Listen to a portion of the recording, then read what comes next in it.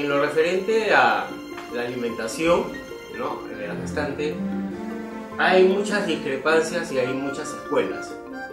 La que más aceptado es la escuela anglosajona, en la cual se le brinda un aporte calórico proteico a la gestante, obviamente superior a la que no está gestando, ¿no? Y este va a ser en la medida de la edad gestacional en que se encuentre.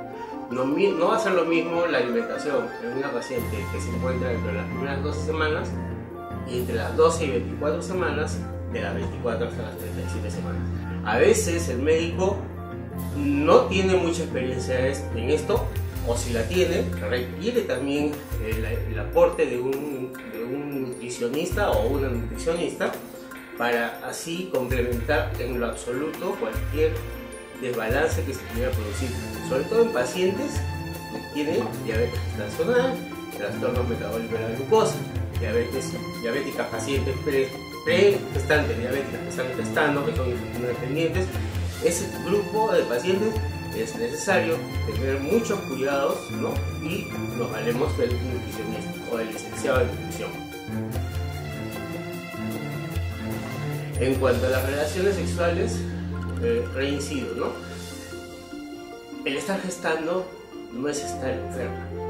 La gestación no es una enfermedad, es una consecuencia de la presentación de la especie, la cual se ha juntado el hombre y la mujer, los gametos se han interactuado va a formar un nuevo ser dentro del órgano genital femenino y este se va a ir desarrollando progresivamente.